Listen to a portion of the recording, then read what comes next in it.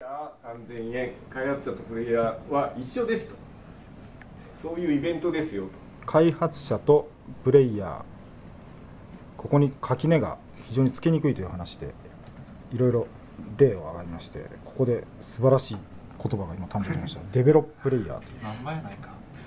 プレロッパーという素晴らしい言葉がありましたけどここはデベロッこれ俺の字か。汚ねプ あのすみませんお名前とそのデベロッププレイヤーを電気通信大学野島県の会です。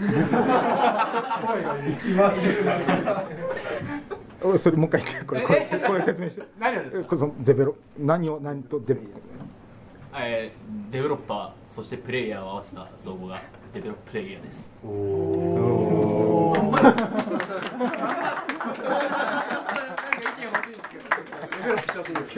何枚や